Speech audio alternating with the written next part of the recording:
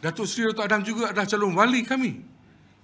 Dan beliau telah membuktikannya selama beliau menjadi Parlimen di Tenggara, kemudian turun ke Dun dan sekarang ini menjadi Parlimen untuk penggal yang ini dan telah dinobatkan sebagai Menteri dan beliau menjalankan tanggungjawab yang baik. Sebab itu, atas dasar itu kami sebulat suara uh, dengan bersama rakan-rakan di Tenggara ini untuk membawa satu nama sahaja sebagai calon uh, wali calon ahli parlimen Tenggara.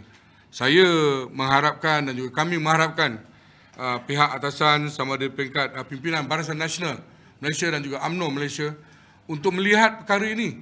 Kerana inilah suara kami dan bukannya atas uh, dasar untuk melobi tidak tentu hala tetapi ini telah dibuktikan oleh beliau iaitu Datuk Seri Dalam Baba bahawa beliau memang layak menjadi pimpin kami yang selayaknya untuk kembali diberikan tugas dan dicalonkan sebagai ahli parlimen negara.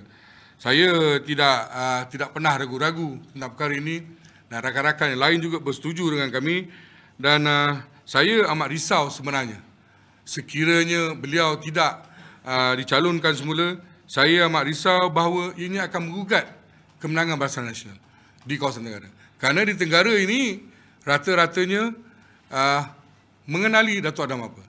Betapa ianya prihatin dengan nasib dan juga uh, bangsa Melayu, bangsa India uh, dan Cina-nya untuk sama-sama beliau memberikan bakti.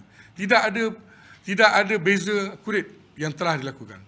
Dengar saja sekiranya ada apa-apa masalah, tak kira jalan rosak ke, rumah terbakar ke, orang sakit ke, beliau sentiasa turun uh, dan bila berkesempatan untuk turun ke kawasan. Setidak-tidaknya beliau akan ada orang yang datang, termasuk saya sendiri, rakan-rakan untuk bersama-sama. Dan sebab itu saya nampak uh, tidak ada pemimpin lain yang uh, perlu kita nobatkan semula sebagai parlimen. Sekali lagi kami